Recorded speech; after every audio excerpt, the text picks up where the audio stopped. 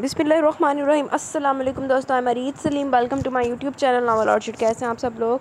तो गाइज़ आज हमने पढ़ना है अपने नावल की नेक्स्ट एपिसोड मैंने एपिसोड नंबर भी नहीं चेक किया, कौन सी है। आज अल्हम्दुलिल्लाह मेरे पेपर सारे ख़त्म हो गए हैं। बस दुआ कीजिएगा रिज़ल्ट भी अच्छा है तो आज चलते हैं। पहले आज मेरा मूड है थोड़ी सी लंबी एपिसोड देने का।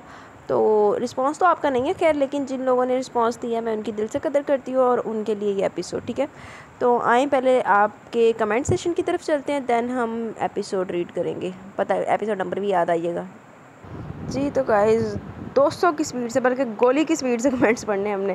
क्योंकि कमेंट्स काफ़ी ज़्यादा है, मैंने आपको पिछले तीन एपिसोडों पर रिस्पांस नहीं दिया क्योंकि मैं एग्ज़ाम्स में बिज़ी थी, मैंने आपके कमेंट्स देखे नहीं और आज ही सारे पढ़ रही हूँ।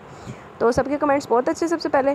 तो पहले अब मैं जल्दी से पढ़ूँगी और फिर आप साथ डिस्कस करूँगी। सबसे पहले फारिया शेख का कमेंट है exciting for it good work thank you so much welcome Faria, वालेकुम अस्सलाम, ने आप रिजवान, अल्हम्दुलिल्लाह, मैं ठीक हूँ, आप कैसी हैं? आप बिज़ी हैं, कोई नहीं, छोटे कमेंट्स कर दिया करें, बस हाज़िरी लगवा दिया करें अपनी। हाँ जी स्टार्टिंग एपिसोड में तो पता नहीं चलता आहिस्ता आहिस्ता करके पता चलता है, लेकिन आपका कमेंट एज़ यूजल लॉन्ग है अच्छा है। आपने कहा था कि मून अच्छा इंसान है, मैंने तो कुछ भी नहीं कहा था, मैंने तो उसको नहीं अच्छा बोला था। आपने कहा था अच्छा इंसान है भाई, अब दो चपेड़े उसने मारी हैं। बाकी अगर आपको अभी मैं देखती हूँ, आपका रिसेंट कमेंट अगर आपको तभी तक स्टोरी की समझ नहीं आई तो फिर मैं आपको ब्रीफ कर देती हूँ। ठीक है, बाकी वो ग्रुप स्टडी के लिए नहीं आई थी, वो वैसे मीटिंग के लिए, मिलने के लिए आई थी, क्योंकि हमारा वो मुझसे अब सीनियर हो गई हैं, मैंने तो इसलिए हमारे सेम बैच नहीं है अभी। बाय बाय उसके अलावा मलिक सबा के कमेंट्स बड़े ज़बरदस्त हैं। और इनके हर एपिसोड पे लॉन्गेस्ट कमेंट्स और इन्होंने मुझे कवर भी बड़े अच्छे अच्छे बना के सेंड किए, कुछ दो मैंने लगाए हैं, बाकी और भी इन्होंने काफ़ी अच्छे बना के भेजे हैं। अच्छा आपको पाशा का करेक्टर पसंद आया है? तंग भी कर रहे हैं हनून फिर भी पसंद आए चलो, सही है जी, मान लेते हैं। वही तो ये तब डॉलर का रेट था, अब डॉलर तीन सौ का हो गया। रीबा ने तो ना बड़ी अम्मा को टैग टूक करा देना, कोई एक अद्धा बस यार, गुर्बत इंसान को बहुत कुछ करवा देती है, लेकिन ऐसा होना नहीं चाहिए था। अमीर, जिन लोगों के पास पैसा होता है ना, उनके पास एहसास नाम की कोई शय नहीं होती। कुछ लोग होते हैं अच्छे वाले। बस पाशा ने सोचा, लगे हाँ हाँ तो मैं समोसे वाले पे भी ठरक छाड़ लूँ। मुझे बहुत खुशी हुई आपको। फ़र्स्ट पार्ट इसका पसंद आया। हाँ जी, बस जो कुछ लोग ऐसे होते हैं, जो दिखते हैं, वैसे होते नहीं हैं। और, वेलकम, आप, मुझे भी बहुत अच्छा लगा कि मुझे बहुत खुशी हुई कि आपने मेरे लिए स्पेशली कवर एडिट किए। आप इस तरह के प्यारे प्यारे कवर एडिट करती रहा करें, मैं लगाती रहा करूँगी, कोई मसला नहीं है। लेकिन मुझे बता दिया करें, क्योंकि वो सम टाइम ऐसा हो जाता है कि मेरे पास डबल कवर हो जाते हैं कि मैं ख़ुद भी करवा लेती हूँ और आप भी करके भेज देती हूँ, मुझे समझ नहीं आती मैं क्या करूँ। अच्छा जी, उसके बाद Saita Bibi Rifat Saraj novel I love अच्छा जी, उसके बाद स्मार्ट हसू ने भी कमेंट किया हुआ है, उसके बाद अंजलि पांडे एक्साइटेड अच्छा तयबा तयबा, वालेकुम अस्सलाम, अल्हम्दुलिल्लाह, मैं ठीक हूँ, आप कैसी हैं? अच्छा अच्छा। मुझे लगा शायद आप काट काट के सुनती क्योंकि आपके कमेंट्स नहीं होते। अब देख लें आपकी खातर थोड़ा लॉन्ग नहीं है बहुत लॉन्ग लॉन्ग नावल स्टार्ट कर दिया मैंने। तो हाँ जी, मुझे वाकई इंतज़ार रहता है। आप लोग ज़रूर किया करें लॉन्ग कमेंट्स कपल्स तो अभी मेरे ख्याल तीन कपल हैं, तीन, चार कपल है। अभी कपल्स तो मुझे भी क्लियर नहीं है, आगे जाके क्लियर हो जाएँगे, आहिस्ता आहिस्ता। बाकी कुछ कह नहीं सकते कौन किसकी औलाद है। पाशा जैसे बंदे को होते ही, काबिल नफ़रत है। मर्द वो होता है जिसके पास से औरत सेफली गुजर जाए अपने आप को, वो डरा हुआ महसूस ना करे, बल्कि गुजर जाए। ये मर्द की शान होती है, ना कि ये कि उसकी नज़र देख के औरत से हम जाए। लाख दिलाना तेता दे मर्द ते हाँ यार, ऐसे लोग नहीं सोचते। बीवी को छोड़े इनकी जो माँ बहनें होती हैं, वो भी तो सड़कों पर जाती है ना। तो माँ बहनों को भी तो कोई तंग कर सकता है। वही यार, अगर आजकल दूसरों की इज़्ज़त को अपनी इज़्ज़त तस्वर कर ले जाए ना तो तो बहुत सी समाजी बुराइयों से हमारा माशरा महफूज रह जाए। हाँ जी, मोमिल के साथ वाकई नहीं अच्छा हुआ और बाकी ये लोग काबिल लानत ही हैं। आमीन आमीन, मुझे बस आपकी दुआओं की ज़रूरत है। वालेकुम अस्सलाम, नयाब रिजवान, अल्हम्दुलिल्लाह, मैं ठीक हूँ। जी इन सही हो गए। चले बड़ी अच्छी बात है कि आपको पसंद आया नावल भी और उसका भी। तो अब जो नहीं पसंद करते उनके लिए मैं क्या कह सकती हूँ? और वाकई इन दोनों भाइयों ने बगैर थी मारी है। मुझे खुद समझ नहीं आई मोमिल के साथ हुआ क्या था तब। और मुझे तो अभी भी समझ नहीं आ रही कि मोमिल के साथ दोनों भाइयों ने गलत किया या एक भाई ने किया। ओके, जब आप लोगों की सपोर्ट की ज़रूरत है तो मुझे फिर और किसी की क्या ज़रूरत है? Bye bye. उसके बाद स्टॉर्मम नाइन ट्वेंटी वन का कमेंट है। वेलकम वेलकम नहीं यार, मैं किसी की रिक्वेस्ट भूलती नहीं हूँ। हाँ देर सवेर हो जाती है, लेकिन रिक्वेस्ट भूलती नहीं हूँ। आप लोग की रिक्वेस्ट मेरे लिए बहुत प्रेशस होती हैं। लेकिन अब देखें, मैंने आपकी रिक्वेस्ट पूरी कर दी, वो दूसरे चैनल वालों ने नहीं की। तो अब आप ये नावल सुने और इसके ऊपर भरपूर रिस्पॉन्स दें, मुझे हर एपिसोड पर आपका कमेंट चाहिए। अच्छा मुझे लगता है, वो फ़र्स्ट एपिसोड के कमेंट ख़त्म हो गए अभी सेकेंड एपिसोड के शुरू हो गए सबसे पहला कमेंट है मलिक सबा का एज़ यूजल लॉन्गेस्ट कमेंट हाँ जी, बस रीबा के भी मसले आए, मसा, मसले कश्मीर हल नहीं होते। कभी बड़ी अम्मा से दुखी, कभी वो, उसको किसी ने लड़की कह दिया तो वो दुखी। मोमिल के साथ है, वाकई बड़ा बुरा हुआ। और यार ये मानूर के साथ इसकी कैसी मोहब्बत है? गले में, गली में रोक रहा है, दोस्तों के साथ वाजे कस रहा है। तो इस चीज़ को मोहब्बत तो नहीं कहेंगे। वालेकुम अस्सलाम, अल्हम्दुलिल्लाह, मैं ठीक हूँ। नहीं यार, दिल छोटा क्यों करना? आप जैसे प्यारे प्यारे लिसनर्स हैं मेरे पास तो फिर मुझे दिल छोटा करने की क्या ज़रूरत है? तैयबा तैयबा का कमेंट है। अच्छा आप रिसेंट नावल रीडर हैं? नहीं, मैं तो एट्थ क्लास से नावल पढ़ रही हूँ। अच्छा आपने वो वाला नावल सुना था, जाना तुझे जब जाना। आप पिछले भी ज़रूर सुनिएगा और I am really very sorry मैंने बीच में देने की कोशिश ज़रूर की थी, लेकिन एक दो छुट्टियाँ मुझे करनी पड़ी क्योंकि मेरी तैयारी पूरी नहीं हो रही थी। अगर मैं रिकॉर्डिंग के लिए आती थी तो तैयारी छूटती थी। फिर मैंने तैयारी को पेपर को प्रेफर किया और एपिसोड छोड़ दी लेकिन वो मैं अपनी कर लूँगी पूरी। नहीं, मैं आपकी बातों से कभी बोर नहीं होती। मैं अपने लिसनर्स के साथ बातें करके मुझे बड़ी खुशी होती है, बल्कि मुझे लगता है मेरे ये आप लोगों के साथ बातें करने से लोग ना बोर हो जाते हो। लेकिन भाई मैंने उनको पहले हल बताया, जो लोग बोर होते हैं, वो भाई वो कर लिया करे वीडियो स्किप कर दिया करे। देखें मानूर के साथ क्या होता, आगे जाके। मोमिल के साथ तो वाकई एक मम्मा बना हुआ क्या हो रहा है, लेकिन उनके साथ हो बहुत बुरी रही है। और थैंक यू वेरी मच आमीन, सुम आमीन, ऐसे दुआ में याद रखें। अच्छा उसके बाद फैसल खान का कमेंट था, हसन साजिद का भी कमेंट था, इनको भी नावल पसंद आ रहा है। इट्स ओके अब्बास रज़ा, आप, मैं समझ सकती हूँ जॉइंट फैमिलीज़ उनके इश्यूज़ मैं खुद जॉइंट फैमिली से रहती हूँ। आजकल ज़्यादा बात है कि मैं रहती हूँ, ये दो चार दिन में सुकून के रिसीव हुए में लेकिन कोई मसला नहीं है, आप अपना बिज़ी स्कैजुअल में से थोड़ा सा टाइम निकाल लेंगी तो खुशी होगी, लेकिन कोई मसला नहीं आप आया करें, सुना करें, उसके बाद फैसल खान का कमेंट था। पार्ट से रहमाना, आप तो बहुत पीछे घूम रही हैं, मुझे लगता है आप देर दिल पे घूम रही हैं। चलें, आपका कमेंट्स था, आपको ये नावल पसंद आ रहा है। वालेकुम अस्सलाम, अस्मा, दिल अलहमदिल्ला मैं ठीक हूँ, आप कैसी हैं? ओहो, नेट का मसला भी बहुत बड़ा मसला है। चले, कोई नहीं, अब ठीक हो गया आपका नेट? अब मुझे लग रहा है कि ये तीसरे एपिसोड की मतलब कल वाले, परसों वाले एपिसोड के कमेंट्स आ गए अब कंफर्म नहीं मैं कैच कह सकती, आए पढ़ते हैं, देखते पता लग जाएगा। फारिया शेख सुपर्ब नावल है, बहुत शुक्रिया फारिया। नायाब रिजवान, वालेकुम अस्सलाम, अल्हम्दुलिल्लाह, मैं ठीक हूँ, आप सुनाओ, पेपर भी अल्हम्दुलिल्लाह ठीक हो गए। हो गए, जान छूट गई, आज मैं बड़ा रिलैक्स रिलैक्स फील कर रही थी।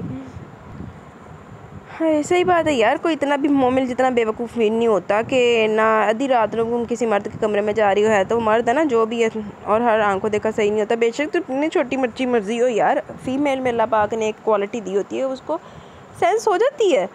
लेकिन अब क्या कह सकते हैं? थी तो वाकई बहुत बड़ा सी। Bye bye then Malik Saba का कमेंट है, ये वन डे अगो मतलब ये थर्ड मैंने आपको जब बताया था ना कि थर्ड एपिसोड के कमेंट शुरू हो गए तो थर्ड के शुरू हो गए थे। देख लें, पहले एक एपिसोड के कमेंट मैं दस मिनट में पढ़ती होती थी, आठ, दस मिनट में, और आज मैंने तीन एपिसोडों के पढ़ लेने हैं दस मिनट में इन मैंने कहा था ना, गोली की स्पीड से पढ़ने। हाय, सनी ते नाल बगैर है ही सो है सनी ते नाल जो दूजा मुँह ना दोनों भरा ही चबल आदमी है, जमाने के एक नंबर दे चबल है। मोमिल बेचारी पता नहीं कितने फस गई इन्होंने विच मोमिल कैसे बताया एक मर्द को कि तुम्हारे भाई ने एक करतूत खोल लिया आप केड़ा दुद्ध का धुलिया डंगर जमाने का वाला हाय जिन्हों इश्क का रोग लगे उन्होंने गर्मी सर्दी नहीं नज़र आती क्या गर्मी यार क्या बात कर दी आपने इश्क मशूकी में गर्मी सर्दी कहाँ देखी जाती है पाशा दे लवे धमकियाँ देखने की कर दी महानूर हाँ जी गलत था यार वो किस मुँह से देखने जाता? वो बगैरत आदमी जो करतूत घोल चुका है, ये उसका रेप कर चुका है मुझे लगता है। तो फिर वो किस मुँह से उसको देखने जाता? सुनता मेरे मुँह से ये मुँह मुझे, ये सनी से ज़्यादा बुरा लगा है। वो ज़ाहिर मुनाफक आदमी। आमीन, बस दुआओं में याद रखें। उसके बाद खतीजा नजीब हैदर का कमेंट है। जी, वालेकुम अस्सलाम, खतीजा। इट्स ओके शादी वाले घर में तैयारियाँ तो होती हैं। मैंने भी बिज़ी हो जाना है। अगे फिर मैंने ना कहना। आप लोग मेरे भाई की शादी है एक महीने बाद तो मेरी तो कल से तैयारियाँ परसों से शुरू होने वाली है, मुझे तो एक सूट पसंद नहीं आ रहा, मेरे मसले तो और अलग नवैयत किया लेकिन मैंने आप लोग, आप फ़िक्र ना करें, आप लोग के साथ छुट्टी नहीं करूँगी, बस आप दुआ करें, मुझे कहीं सोना सा, प्यारा सा सूट मिल जाए। पहले मैंने जो पसंद किया तो मेरी बहनों ने ले लिया, अब मुझे उनसे प्यारा सूट मिले। तो thank you very much bye bye वालेकुम अस्सलाम, तैयबा तैयबा अलहमदिल्ला मैं ठीक हूँ, आप कैसी हैं? मोबिल घर कैसे जाए ना? उनके घर लेने भी नहीं रखना उन्होंने। उनको पैसे मिल रहे हैं, उनको क्या चाहिए? लानती वैसे आपने बिल्कुल सही कहा, उनको खोते पे बैठा के पूरा इनको चक्कर कटवाने चाहिए बेगैरतों को दोनों ही बगैरत, गंदे। वाकई ये वाकई एक मिस्टीरियस सस्पेंस सस्पेंसफुल नावल है कि मैंने भी नहीं पढ़ा, वैसे मुझे भी ज़रा क्रियोसिटी है। तो आमीन, सुमामीन दुआ में याद रखें। उसके बाद हसन साजिद का कमेंट है, जी। हाँ जी, देखते हैं आज। वाकई सनी और मून दोनों एक जैसे बगैरत निकले। अब देखते हैं मोमिल वापस जाती है कि नहीं जाती। और महानूर हिम्मत किसके सामने दिखाया? गुंडे मवाली के सामने दिखाया। वो तो बगैर हिम्मत तो कुछ नहीं होता पाया। तो अब देखते हैं आगे जाके क्या बनता है महानूर के साथ भी। निदा शाह, आपने पूछा इस नावल के कितने पार्ट्स हैं? तो यार, इसका तो अभी मुझे भी नहीं पता क्योंकि अभी मैं एग्ज़ाम से फ्री हुई हूँ तो बस का बैठ के एनालिसिस करेंगे कितने इसको एंड करना है, क्योंकि लॉन्ग नावल है। मरियम, आपको रिबा का करेक्टर पसंद आया नावल पसंद आया चलें, बड़ी अच्छी बात है। देखिए, दस मिनट में कमेंट सेशन एंड उस तो बाद तड़ा नावल शूट आज नावल रीड करते हैं भैया आपका फोर्थ एपिसोड सनी सिटी पर कोई खूबसूरत सी धुन गुनगुनाते, की रिंग छुलाते, बड़ी सरमस्ती में लाउंज में दाखिल हुआ, मगर एकदम ठिठक गया। सर के नीचे फ्लोर कुशन रखे, हाथ में रिमोट लिए मून कारपेट पर दराज था, और स्क्रीन पर बड़े फास्ट म्यूज़िक में कोई इंडियन डोनेट सॉन्ग चल रहा था। डू इट सॉन्ग खास से बाद इसने मून को टीवी के सामने बराजमान देखा था, बल्कि दर हकीकत घर में खास से बाद वो एक दूसरे के सामने थे। मून ने इसकी आमद पर सिर्फ़ एक लहजे के लिए टीवी स्क्रीन से नज़र हटाई थी। मम्मी का फ़ोन आया था, इन्होंने नंबर दिया, रिंग कर लेना, फ़ोन के पास एक चिट पर लिखा है। मून ने आहिस्ता आवाज़ करके इसे तिला दी और दोबारा आवाज़ बढ़ा दी। सनी ने एक लम्हे कुछ सोचा, फिर मून पर एक निगाह गलत अंदाज में डालकर जीने की तरफ़ बढ़ गया। मून ने वी स्टॉप किया और दूसरी कैसेट लगा ली। वी दोबारा ऑन कर दिया गया, अब स्क्रीन पर रंग नहीं थे। Black and white song display हो रहा था। मैं ख़ताकार हूँ या मुझको बनाने वाला। चाँद के मुखड़े पर भी दाग है काला काला। जल के दिल खाक हुआ, आँख से रोया ना गया। गाना ख़त्म हुआ, इसने रिवाइंड कर दिया। फिर ख़त्म हुआ, इसने फिर रिवाइंड कर दिया। दोबारा साह बारह फिर रिवाइंड करने लगा तो बैग से सनी की आवाज़ आई। यार स्टॉप इट मुझे फ़ोन करना जाने का बाग खड़ा हुआ था वो? इसने चौंक कर सर घुमाया और वीसीआर ऑफ़ कर दिया और रिमोट वहीं फेंक कर उठ खड़ा हुआ। अपने कमरे की तरफ़ जाने के बजाय इसके कदम लॉन की सिमत उठ रहे थे। एक इंतशार इस तरह किसकी चाल से मुतरशद मुतरशर था लॉन में खासी देर चहलकदमी करने के बाद इसने सर्वेंट क्वार्टर का रुख किया। डार्क ग्रे लकड़ी के दरवाजे पर इसकी दस्तक बहुत आहिस्ता थी। कई मरतबा की दस्तक के बाद दरवाज़ा खुला। सामने ड्राइवर नींद भरी आँखों में हैरत समो इसकी तरफ़ देख रहा था। सा, सलाम साहब कहीं जाना है? वो पूछ रहा था। नहीं नहीं कहीं नहीं जाना। वो मासी मुँह उलझा। अच्छा अच्छा वो बराबर वाला दरवाज़ा साहब दरअसल आप कभी इधर आए आते नहीं है ना? ठहरिए मैं बुलाता हूँ मासी को। वो फिर भी आना अंदाज में कहकर आगे बढ़ा बराबर वाले दरवाजे पर दस्तक देने लगा। दरवाजे दूसरी दस्तक पर ही खुल गया। मासी के अंदाज से ज़ाहिर था वो जाग रही थी पहली नज़र पर ड्राइवर पर दूसरी मून पर पड़ी तो एकदम घबरा गई। साहब आप खैरियत? हम्म, इसने हनकारा भरा और ड्राइवर को जाने का इशारा किया। वो फ़ौरन मौतबाना अंदाज में पलट गया। दवाई खाई इसने? वो बेहद आहिस्ता आवाज़ में पूछा था। नहीं, अभी भी इसके पास बैठी हुई थी। मासी ने बेचारगी से जवाब दिया। अच्छा हटो सामने से। वो बोला तो मासी छठ एक तरफ़ होगी। मुन की चार बहुत आहिस्ता थी। वो अंदर दाखिल हुआ तो वो बान की चारपाई पर सामने ही लेटी हुई नज़र आ गई। पर टांके खोले वो इसी को आते हुए देख रही थी। मुन चारपाई के पास आकर ठहर गया। क्यों परेशान करियो मासी को? दवा क्यों नहीं खाती? वो इसने नज़रें चुरा कर मुखातिब था। मासी, पहले से कुछ खिलाओ। वो मासी से मुखातिब हुआ। जी साहब, आप बैठे। मासी ने बड़े पुरजोश अंदाज में मुड़ा पेश किया। ठीक है ठीक है, तुम जाओ, कुछ लेकर आओ इसके लिए। वो उलझे उलझे अंदाज में कहते हुए मुड़े पर बैठ के और कमरे में नज़रें दौड़ाने लगा। मासी के वहाँ से जाने के बाद एक पुरहोल सुनाटा माहौल पर तारी हो गया। वह नज़रें झुकाए अपने स्लीपर को बगौर देख रहा था। देखो, मासी, जो कहे इसका कहना मानो, मैं जल्दी तुम्हें गोट वापस भिजवा दूँगा। बिलाकर इसकी आवाज़ से सकूट टूटा। मोमिन इसी तरह बेख्वाब फटी फटी आँखों से इसकी सिम देख रही थी। अब इसके बेतासुर चेहरे पर खौफ के असरात भी नमाए थे। मासी, मैं जा रहा हूँ, अब ये तुम्हें परेशान नहीं करेगी। तो अब्बा लगता सी ना उदा बेगैर था वो उठते हुए बोला साहब, आप थोड़ी देर बैठ जाएँ, आपकी बड़ी मेहरबानी होगी, इसका कोई भरोसा नहीं। मासी जहाँ थी, वहीं से बिल कर बोली। मुँह ने गैर इरादी निगाह इस पर डाली और दोबारा बैठ गया। मासी के प्याले में चाय और डब्बा रोटी के दो स्लाइस लेकर आगे, उठ मोमिल वो इसके पास बैठ गई। चल शाबाश, देख साहब, इतनी रात को बेआराम हुए तेरी वजह से, मासी ने चमकारा। मोमिल पर मतल्लक असर ना हुआ। देख तो सुबह से भूखी है, अब रात का एक बज रहा है, चल अब उठ बैठ। मोमिल टस से मस्त ना हुई। मोन ने बमुश्किल निगाह उठाई, मगर फ़ौरन चुका ली और खामोश रहा। साहब की बात भी नहीं सुन रही। माई बाप है ये हमारे उठ बैठ बेटी, ये ले। मासी ने अपने जानों पर सेट की, ट्रे सेट की। अच्छा लेटी रहे मैं खिला देती हूँ। मासी डबल रोटी चाय में भी गोकर इसके मुँह के नज़दीक ले गई। मोमिल ने एक झटके से इसका हाथ परे कर दिया और साथ ही ट्रे पर हाथ भी दे मारा। ट्रे दूर जा गिरी। मासी चंद साने दम बखुद बैठी रही। फिर बड़ी शर्मिंदगी और गुस्से से मुन की तरफ़ देखकर उठ खड़ी हुई। पता नहीं क्या हो गया। अच्छी भली थी। कल तक एक आवाज़ पर दौड़ती थी जो कहो मानती थी। आप तो इसे गोटी भिजवा दें, मर जाएगी वरना ये तो। मुन खुद लबस्ता सा सर झुकाए बैठा था एकदम उठ खड़ा हुआ। मैं ड्राइवर से कहता हूँ किस तरह इसे उठाकर गाड़ी में डालो बाकी हॉस्पिटल में खुद संभाल लेंगे। दरवाजे पर दस्तक हुई मून ने किताब उलट कर रखते हुए वॉल क्लॉक की तरफ़ देखा दो बजकर कुछ मिनट हुए थे। कौन? जाने खौफ कहाँ से डर आए थे। मैं हूँ साहब ड्राइवर की आवाज़ थी। मून जल्दी से दरवाजे तक गया हम्म, क्या हुआ? वो दरवाज़ा बात करके बहुत महतात अंदाज में पूछ रहा था। कुछ नहीं साहब वो मासी जैनब ने कहा कि आपको बता दूँ मोमिल वहाँ पर बहुत तंग कर रही है। इसने डॉक्टर का आला स्टेथोस्कोप नर्स के मुँह पर खींच मारा और जो फ़ाइल होती है ना साहब वो भी फाड़ दी। एक ग्लास भी थोड़ा बड़ी मुश्किल से काम करके एक इंजेक्शन लगाया, फिर कहीं जाके ज़रा आराम से लेटी। फिर और कोई तो मसला तो नहीं हुआ। क्या क़यामत थी ड्राइवर तक से निकाह चुरा कर बात करने की नौबत आ गई थी? मसला तो खैर क्या होगा साहब? प्राइवेट अस्पताल है, बिल बनाने के चक्कर में शेर भी काबू कर सकते हैं। वो तो ज़रा सी छोकरी है। ड्राइवर की आँखें नींद से मकलूब हो रही थी, खासे बेजार कुन अंदाज में प्राइवेट अस्पताल को निशाना बनाया। आपका नाम बता दें डॉक्टर साहब को मैं चलूँ साहब? इसने इजाज़त चाहिए हाँ हाँ ठीक है, वो जल्दी से बोला। उम्र पूछ रहे थे डॉक्टर साहब, मासी बोली, तेरह चौदह साल की होगी। डॉक्टर साहब बोले, ये तो सत्ताईस साल हो गई है। ही ही ड्राइवर ने इंतहाई बदमज़ा माहौल में अपनी दानिश में खुशगवारी पैदा करने की कोशिश की, क्योंकि साहब कुछ ज़्यादा परेशान नज़र आ रहे थे। बोले, लगती तो नहीं है सत्ताईस की। अच्छा साहब वालेकुम। इसने मुन के अंदाज में कोई तब्दीली ना पाकर जाने में आफियत समझी। मुन ने फ़ौरन दरवाज़ा बंद कर लिया। ख़जाने की मौजूदगी के एहसास के साथ धड़के भी शुरू होते हैं चोरी डाके का खौफ भी सताते हैं। अभी तो इधर ख़जाने की मौजूदगी का ठीक ठीक शाउर भी नहीं था और ख़जाना खाली हो गया था। चूँकि ख़जाने का एहसास नहीं था इसलिए दुख किसी डाके पर नहीं हुआ था। दुख और सदमा इसकी आवा, इस आवाज़ पर था कि कुछ अच्छा नहीं हुआ। बेबसी के एहसास से बस ये एहसास हुआ कि वो कुछ हारी है वरना वो हैरत से पत्थर न होती बल्कि बहुत रोती। ऐसा बैन करती कि दीवारें पसीज जाती कितनी बुजदिल होती। एक दफ़ा सांप की तरफ़ देखकर नफरत से थूकती ज़रूर। देखा इस मेरे मुँह से सुनते इस बगैरत आदमी ने उसका रेप कर दिया मुझे लगता है सनी ने तो बेशक ना किया और इसने कर दिया अभी तो बादाम के पेट तले मट्टी के घरौंदे बनाकर खेलने वाली सखियाँ रात तक रही थी। सनी की वहशत से इसे डर ज़रूर लगा था, मगर इस डर के मानी इस पर खुले नहीं थे। अगर इस डर के मानी इस पर खुल जाते तो वो दूसरे कमरे में बेखौफ होकर कैसे सो सोई रहती। मुन इसकी मौजूदा कैफियत का तजिया कर सकता था और कर रहा था। ये देखा मैंने तो कहा था ना आप लोगों को कि सनी की तरफ़ से डर के भाग गई है। वो जिसको हम ज़रा बुरा सब्र कर रहे थे उसने उसका इतना बुरा नहीं किया, लेकिन इस चवल आदमी ने उसका रेप किया। अब वो सो नहीं सकता था। अब इसे सोने के लिए नींद की गोलियों की ज़रूरत थी। हाय, बेहिसी की मुस्तकिल किस्म की बेहिसी की सरदस्त, इसे दोनों में से एक भी मैसर नहीं थी। ज़रूरत थी यह बेहिसी की। इसने सोचा था कि वो आज वक्त से बहुत पहले निकल खड़ी होगी, बल्कि रोज़ाना ये मामूल बना लेगी कि वक्त से बहुत पहले निकला करेगी और स्कूल देर से निकला करेगी। चंद दिनों बाद वो खुद ही इंतज़ार से थक जाएगा और नई दिलचस्पी तलाश कर लेगा। इस किस्म के लोग यही क्या करते हैं। वो इस दौरान में मुमकिन है कि इसकी शादी का मसला हल हो जाए और आरफा से एक दो माह कबल घर बैठने को कह दें। और जब तक ये मरला तय नहीं हो जाता, कम अज़ कम एक माह तो मजीद तनख्वाह ले ले। आरफा शमसा से कह ही चुकी थी वो इम्तहानों के बाद घर पर बच्चों को पढ़ाना शुरू कर दे कि वो जल्दी महानूर की शादी का इरादा रखती है। मजीद ये कि वो भी शमसा का हाथ बटा दिया करेंगी। पेशबंदी के तौर पर वो आरफा को बता चुकी थी कि सेमेस्टर की वजह से आजकल स्कूल में बहुत काम है, वो जल्दी से आया करेगी और देर से आया करेगी। इसने दो चार नवाले लेकर बरह राम नाश्ता किया।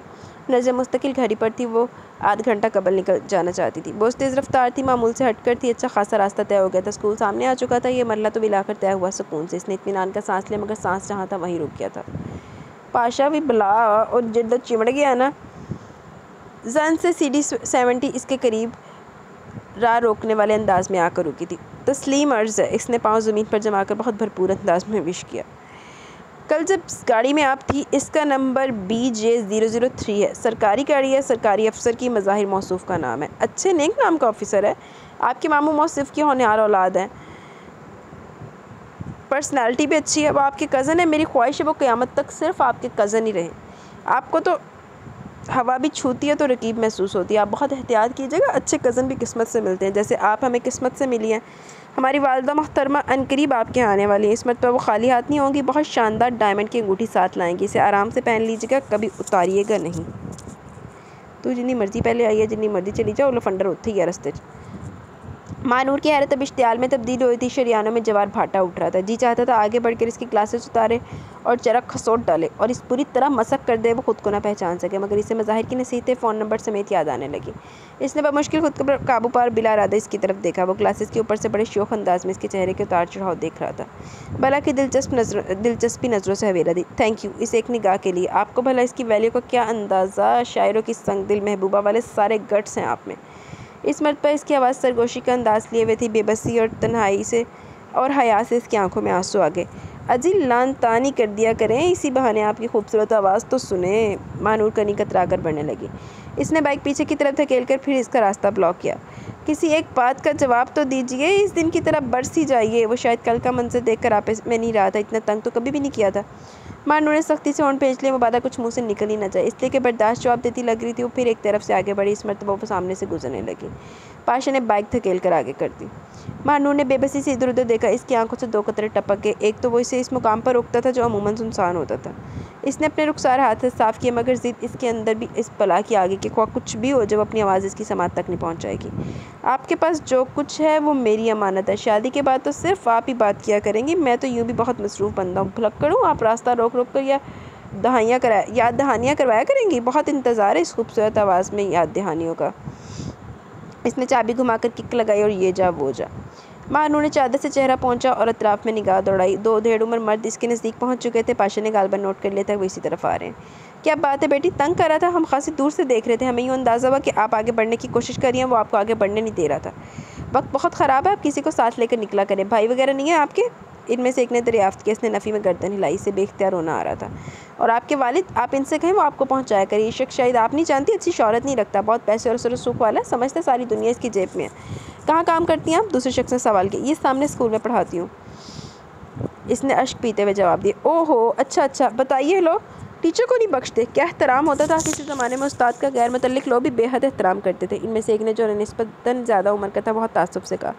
जाओ बेटी और अकेली मत आया जाया करो। अमूमन कोई भी इससे उलझना पसंद नहीं करेगा, सबको अपनी इज़्ज़त प्यारी होती है। वो मजीद कोया और दोनों दोबारा इसी सिंह पलट के जहाँ से आए थे। मानूर ऑफ़िस में दाखिल हुई तो इसका चेहरा तिम तुम्हारा था। आज वो पियन और मासी के बाद स्कूल में आने वाली तीसरी थी इसने फ़ौरन पंखे चला दिए। जी चाह रहा था फ़ौरन मज़ाहिर को फ़ोन करके ताज़ा तरीन हालात से मतला कर। इसने क्लर्क की तरफ़ देखा और कुर्सी पर बैठ गई। मज़ाहिर नौ बजे से कुछ पहले ऑफ़िस पहुँचते थे, ज़्यादा देर कभी कभी इन्हें जल्दी जाना होता था। ये वो इसे बता चुके थे। इसे इंतज़ार की अजियत से बहरतौर गुजरना था। खासी देर वो आँखें मोंदे कुर्सी की बैग से टिकी खाली और जहन बैठी रही। बिजली के कौंदे की तरह इसकी आँखें इसके हवास पर बार बार लिख रही थी, लपक रही थी। स्कूल में बच्चों टीचर्स की आमद शुरू हो चुकी थी। बेसरोपा किस्म के शोर हो रहा था। टीचर सलाम दुआ के लिए करती ऑफ़िस में दाखिल हो रही थी। वो संभल कर बैठ कर मुस्कुरा मुस्कुरा कर विश करने लगी। गालबन हाक में वक्त ने किसी इनाम का ऐलान किया? जो शहर में सबसे पहले दाखिल होगा वही शहज़ादी के सवाल का जवाब देगा। मगर फिर भी शहज़ादी की शादी का मसला तो जूँ का तू रहेगा, क्योंकि ये तो खुद शहज़ादी है। सिर्फ़ इनाम ही मिल पाएगा। मासी बता रही थी कि स्कूल का ताला खुलते ही आज सबसे पहले मिस महानूर दाखिल हुई हैं। खैरियत? सभा सोफे पर गिरने के अंदाज में बैठ के हम्म, खैरियत ये शायद मेरी घड़ी आगे चल रही है। इसने होंठों पर फीकी से मुस्कुराहट नमदार हुई। मगर इतनी सुबह को भी तुम्हारे चेहरे पर थकावट है फिर एक बजे दोपहर तुम्हारी तस्वीर कैसी होगी? वह खुद एकदम फ्रेश सबा खुद एकदम फ्रेश नज़र आ रही थी। अच्छा वो बस इतना ही कह सकी। आज फिर महसूस हो रहा है तुम्हारी तबीयत ठीक नहीं, कोई गड़बड़ है? सब इसकी तरफ़ झुकते हुए सरगोशी में पूछ रही थी। अरे नहीं, बस तुम फिक्रमंद हो मैं बिल्कुल ठीक हूँ। बहुत ज़बर करके भरपूर मुस्कुराने की कोशिश करने लगी। बताना नहीं चाहती तो वो दूसरी बात है, मगर कुछ है ज़रूर। खैर, हम भी हाथ धोकर अपने पीछे नहीं पड़ेंगे। अब ज़रा उठ खड़ी हो असम्बली हो रही है। हरिया सबा एक मिनट। इसने सबा को रोक लिया और ऑफ़िस से टीचर्स के निकलने का इंतज़ार करने लगी। सबा सवारी अंदाज में इसका चेहरा पड़ी थी। चंद मिनटों बाद ऑफ़िस में बस वो दोनों रह गई। वो तुम्हारा घर तो स्कूल के बिल्कुल पीछे ही है ना? मुझे प्राइवेसी में एक ज़रूरी फ़ोन करना है। मैं चलूँ ज़रा? चलो कि ज़रा। प्रिंसिपल के ऑफ़िस में बात ठीक से नहीं हो पाएगी। ओफ, वो इतना तकल्लुफ़ हद होगी, मगर ये तो बताओ प्राइवेसी में बात किससे होगी? वो शरारत से आँखें नचा रही थी।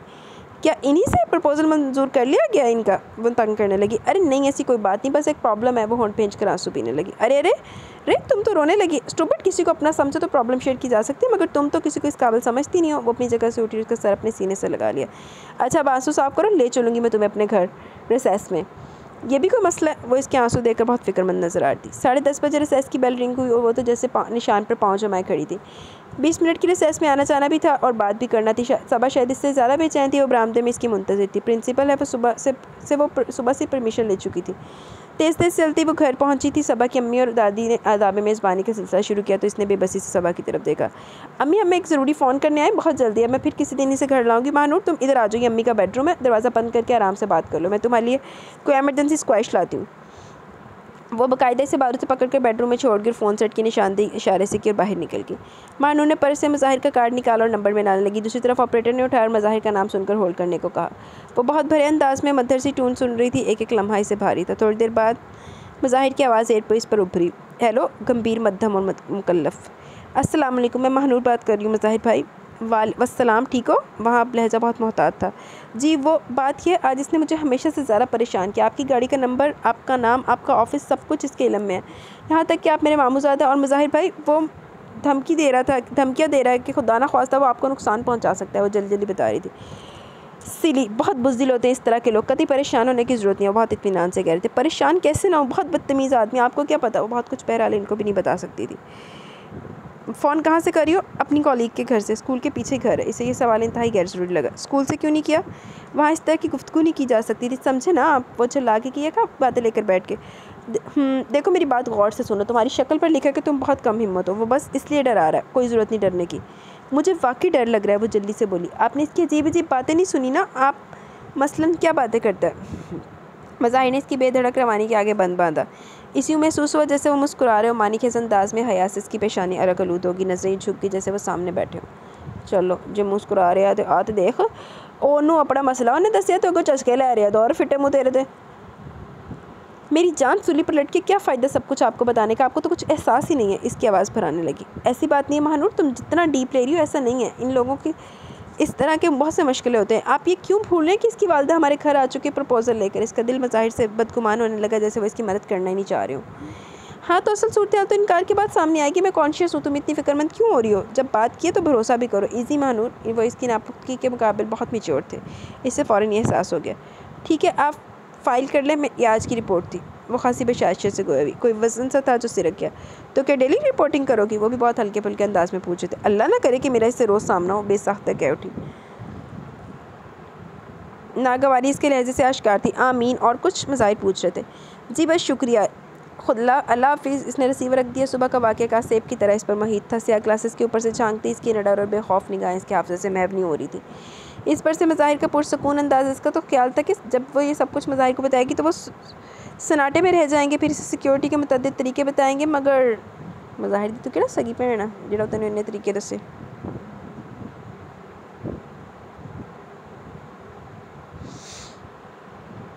मोने ढाल से अंदाज में कमरे से बाहर आ गई लाउंज में सब अपनी अम्मी के साथ इसकी मुंतजर थी। से देखकर मुस्कुराते हुए उठी और मेज से सक्वाइश का ग्लास उठाकर फ़ौरन पेश किया। होगी बात वो बात बराए बात के अंदाज में कोई भी हम्म, वो इसी तरह खड़े खड़े बोली बैठ तो जाओ दो तीन मिनट लेट हो गए तो क्या थोड़ी सी डांडी पड़ जाएगी ना इससे ज़्यादा क्या होगा? वो इसे पकड़ कर बिठाते हुए बोली कितने बहन भाई हो सबा की अम्मी इसके हसीन चेहरे मामूली लिबास का बगौर जायज़ा ले ली थी। बस हम दो ही बहनें हैं। दूसरी बहन मुझसे छोटी है इसने सक्वाइश का घून भरते हुए जवाब दिया और साथ रेस्ट वॉच पर नज़र डाली। तुम्हारे वालिद क्या काम करते इन्होंने अगला सवाल किया पिछले साल रिटायर्ड हो गए गवर्नमेंट हाई स्कूल में टीचर थे। अब कुछ नहीं करते बल्कि हम इन्हें कुछ करने नहीं देते तबीयत ठीक नहीं रहती इनकी फेफड़ों में पानी का अर्ज़ है। ओहो ओह इन्होंने एक मरतबा फिर इसका तफसील से जायज़ा लिया। बाकी इंटरव्यू फिर कर लीजिएगा किसी दिन मैं छुट्टी के बाद अपने साथ ले आऊँगी दोपहर का खाना भी होगा और इंटरव्यू भी। ठीक है मानू? सबक ग्लास रखकर उजरत भरे अंदाज में खड़ी होगी। हम्म, इसने भी वक्त के तकाजे को मुलवज़ खाते रखे रखते हुए हंकारा भरा।